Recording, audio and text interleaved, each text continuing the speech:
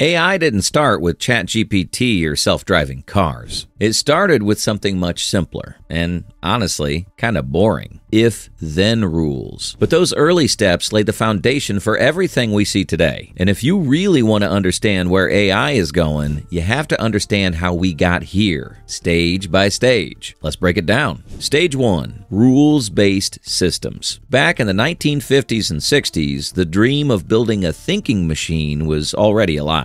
Researchers weren't training models on billions of data points, they were writing rules. Literally, lines of code that said, if X happens, do Y. One of the most famous early programs was ELIZA, created in 1966 by Joseph Weizenbaum at MIT. ELIZA mimicked a psychotherapist by rephrasing user input as questions. If you typed, I'm feeling sad, ELIZA might reply, Why are you feeling sad? It wasn't smart. It didn't understand emotions, but it fooled people into thinking it did. That was one of the first real world moments where humans projected intelligence onto a machine. By the 1980s, these rules based systems evolved into what were called expert systems. Companies like Digital Equipment Corporation used them to troubleshoot hardware. Medical expert systems like Mycin were built to suggest treatments for infections. For a while, businesses believed expert systems were the future. In fact, by the mid 80s, the market for expert systems was valued in the billions. But here's the catch these systems were brittle. If you gave them a situation outside their rules, they broke. Imagine trying to write down every possible medical scenario or troubleshooting step. It just didn't scale. That's why expert systems peaked in the late 80s and collapsed by the early 90s. What replaced them was something much more powerful machines that didn't just follow rules, but actually learned patterns from data. Stage 2 Machine learning emerges. This is where AI took a sharp turn. Instead of telling the computer exactly what to do, researchers started teaching it how to learn from examples. By the 1990s, machine learning became the dominant approach. A classic example spam filters. Instead of writing endless rules like, if the email contains the word lottery, mark it as spam, machine learning algorithms looked at thousands of real emails and figured out the statistical patterns that separated spam from legitimate mail. This was a huge leap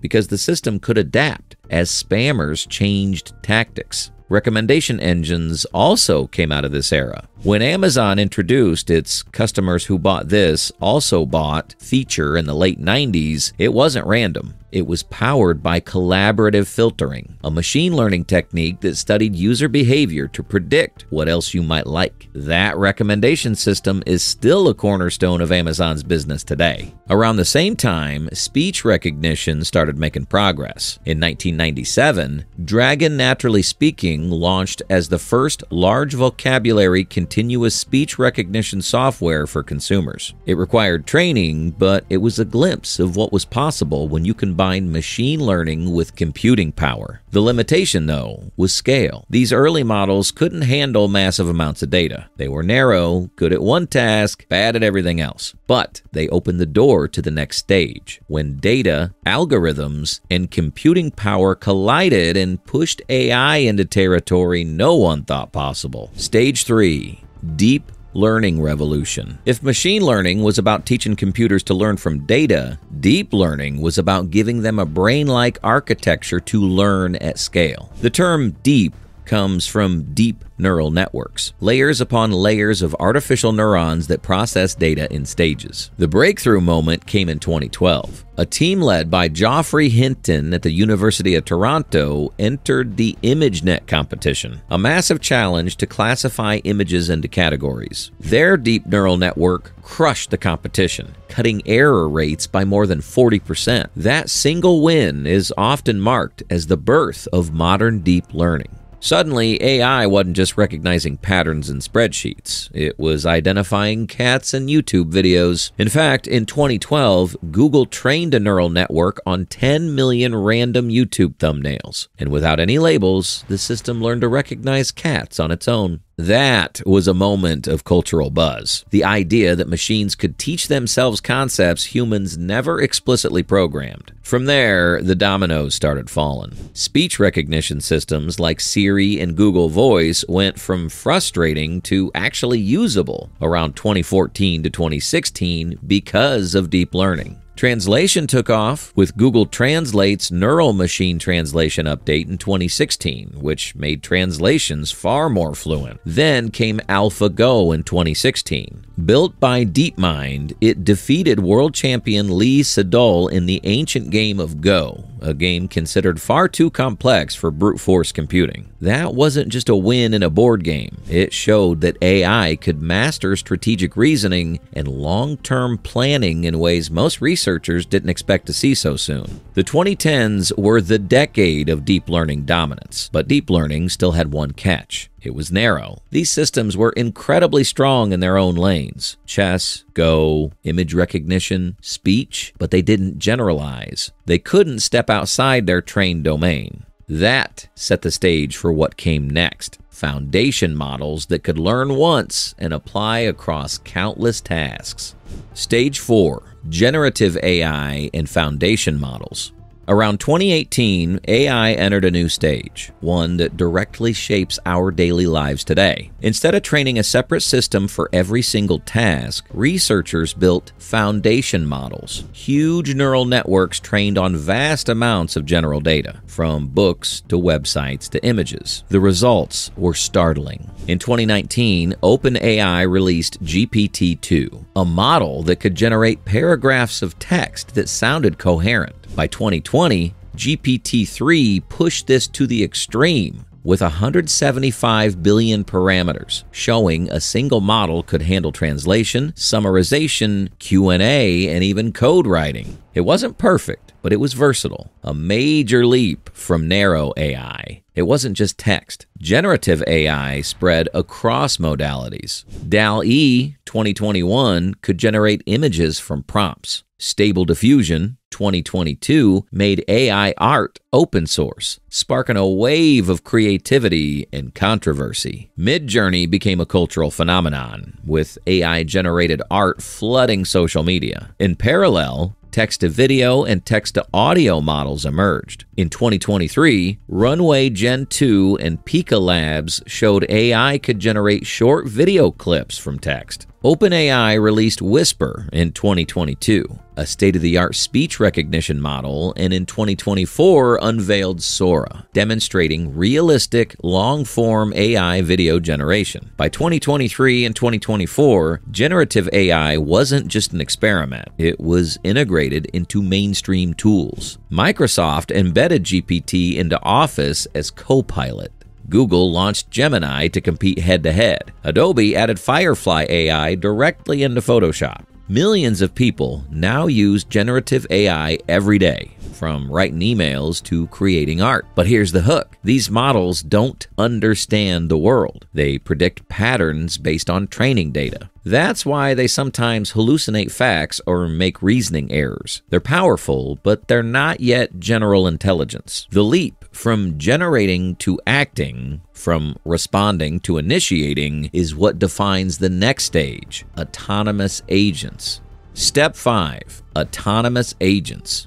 If generative AI was about producing text, images, and videos on demand, autonomous agents are about taking action. These systems don't just answer prompts. They plan, decide, and execute tasks across multiple steps. In 2023, tools like AutoGPT and Baby AGI grabbed headlines. They chained together multiple uses of large language models to set goals and carry them out with little human input. For example, AutoGPT could be told, research the best headphones under $200 and compile them into a report and it would run web searches, analyze results, and generate a document. More recently, companies have pushed this idea further. In 2024, Cognition AI unveiled Devin, marketed as the first AI software engineer. Devin could take a high level instruction like build a site with a logon system and handle the coding, debugging, and deployment steps. While not flawless, it highlighted how agents move us from assistants that help to systems that work. We're also seeing agents deployed in customer service, finance, and even robotics. Autonomous AI call center agents are already being piloted by startups and enterprise firms to handle real customer interactions without human handoff. In robotics, labs are experimenting with giving language models control over real world robots, connecting reasoning with physical action. But this autonomy raises new challenges. Who's accountable if an agent makes a bad decision? How do we keep them aligned with human intent? These questions tie directly to the next stage in the evolution of AI. Stage 6 Artificial General Intelligence, AGI. AGI is the point where AI systems can perform a wide range of intellectual tasks at human level or beyond. Unlike narrow AI, good at one task, AGI would be flexible, adaptive, and capable of transferring knowledge across domains. Tech leaders openly debate how close we are. Sam Altman of OpenAI has said AGI could arrive within the next decade, while others argue today's large models are still missing core ingredients like reasoning and true understanding. Geoffrey Hinton, one of the godfathers of AI, left Google in 2023 partly to speak freely about the risks of advanced AI warning that systems may learn faster than expected. We're seeing steps in that direction with multimodal models, AI that can process text, images, audio, and video together. Google's Gemini and OpenAI's GPT 5 demos in 2024 highlighted reasoning across multiple formats, but whether scaling these models leads directly to AGI or whether new breakthroughs are required remains an open question. For now, AGI is still a research goal, not a present reality. But what lies beyond AGI is even more transformative and more controversial. Stage 7 Artificial Superintelligence, ASI. ASI is the hypothetical stage where AI surpasses human intelligence in every domain. If AGI is human level, ASI is beyond human. It could solve problems humans can't from drug discovery to climate modeling at speeds we can't match. This isn't science fiction, it's a logical extrapolation. If machines reach human level intelligence and they can self improve, they may rapidly surpass us. That's why governments and companies are already talking about guardrails. In 2023, the US and EU began drafting AI governance frameworks. By 2024, over 20 countries signed agreements focused on AI safety and transparency. The opportunity is enormous, but so are the risks. Researchers discuss alignment the challenge of making sure AI goals stay compatible with human goals. This is one of the most active areas of AI research today. So, if we step back, the path becomes clear. We started with rules based systems in the 1960s, moved into machine learning in the 1990s, hit the deep learning revolution in the 2010s, shifted to generative AI and foundation models in the 2020s. Now we're entering the world of autonomous agents with AGI on the horizon and ASI as a possible future. Each stage didn't erase the last. It built on it. The brittle rules of the 60s taught us structure. Machine learning gave us adaptability.